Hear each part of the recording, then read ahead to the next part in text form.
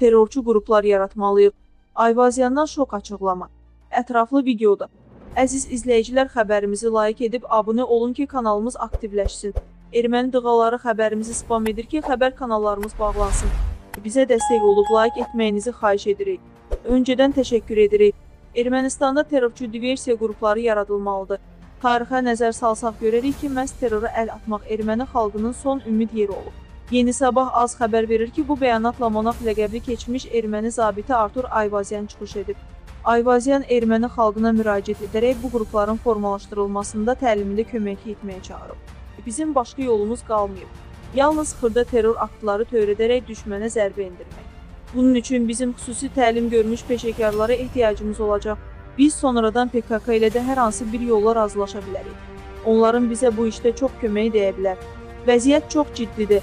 Biz hər gün bir addım geri çəkilirik. Zəngəzur ümumiyyətlə yaddan çıxarın artıq. Zəngəzur əlimizdən getdi.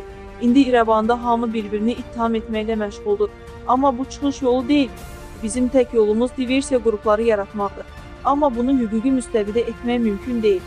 Biz bunu dövlətdən kənar yol yaratmalıyıq.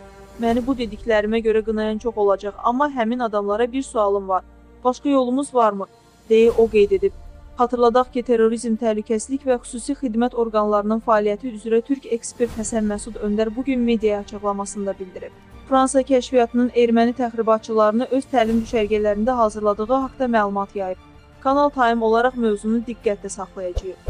Ölkədə və dünyada olan xəbərlərdən anında xəbərdar olmaq istəyirsinizsə, kanala abunə olub bildiriş butonunu açmağınız kifayətdir.